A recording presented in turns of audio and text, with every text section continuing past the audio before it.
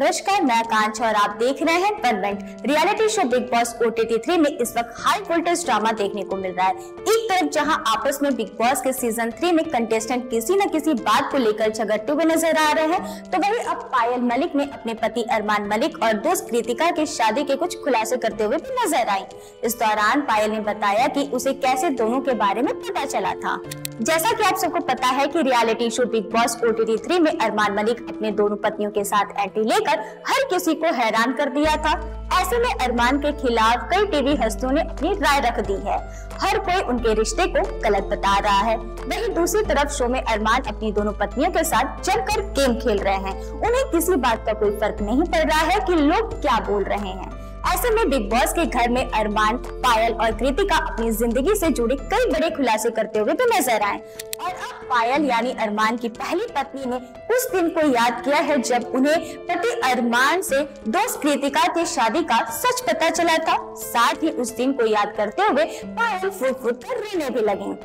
अरमान मलिक के धोखे को याद कर रोई पायल। जियो सिनेमा के इंस्टाग्राम अकाउंट पर शो का नया प्रोमो सामने आया है, जिसमें पायल उस दिन के बारे में बात कर रही हैं जब उनकी दोस्त कृतिका ने उनके ही पति अरमान मलिक से शादी कर ली।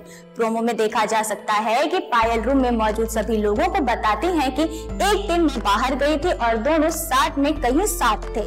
इन दोनों ने बात की होगी कि शादी करते हैं और कर भी ली। मेरे पास अरमान का फ़ोन आता है कि तुझे एक गुड न्यूज़ देनी है। तभी मैं उनकी सारी बात समझ जाती हूँ और पूछ देती हूँ कि क्या आपने दूसरी शादी कर ली है?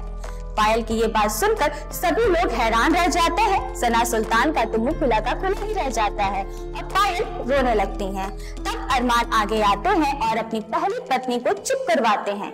सोशल मीडिया पर ये प्रोमो काफ़ी तेज़ी से वायरल हो रहा है और लोग अरमान की धज्जियाँ उड़ा रहे हैं। लोगों के निशाने पर आए अरमान मलिक। बता दें कि अरमान मलिक जब से बिग बॉस के घर में आए हैं, तब से उन्हें ट्रोल किया जा रहा है। ऐसे में टीवी एक्ट्रेस देवोलीना भट्टाचार्य ने अरमान मलिक की दो शादी की सोच पर जमकर अपनी बड़ास निकाली है। बिग बॉस के घर में आने के बाद अरमान ने बिग बॉस में कहा था कि हर आदमी को पत्नी चाहता है। अरमान की इस बात पर भी देवोलीना ने उनकी जमकर क्लास लगा दी थी। इसके अलावा करण कुंद्रा ने भी अरमान का मज़ाक उड़ा चुके हैं।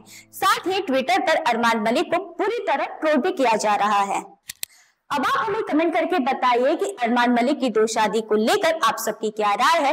वीडियो अच्छी लगी है तो लाइक करें, साथ ही चैनल को सब्सक्राइब करना ना भूलें और ऐसे ही इंटरटेनमेंट की खबरों के लिए देखते रहे मिनट अब घिसी पिटी खबरें नहीं।